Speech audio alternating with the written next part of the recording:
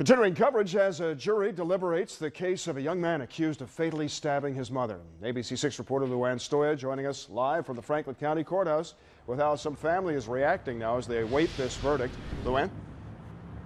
Well, three of Robert Lindsey's aunts and his grandmother are here for the trial. They're telling me they care for Robert. They love him, even forgive him. But another thing they say, they say keep Robert in jail.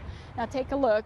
Lindsey on trial for stabbing Latonia Banner to death at their northeast side townhouse. Lindsey was a senior at New Albany High School and had been on the homecoming court. But Lindsey says he was abused and stabbed his mother in self-defense. The coroner says Banner was stabbed seven times. The victim's sister tells us her nephew needs to be found guilty.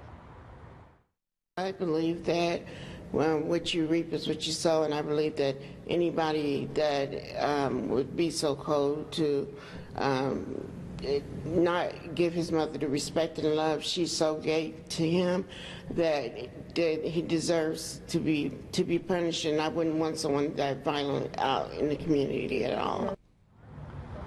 And Lindsey took the witness stand in his own defense. On Friday, Lindsey told the court that he feared for his life and that he knew his mother would kill him, that she stabbed him first and he was afraid she wasn't going to stop.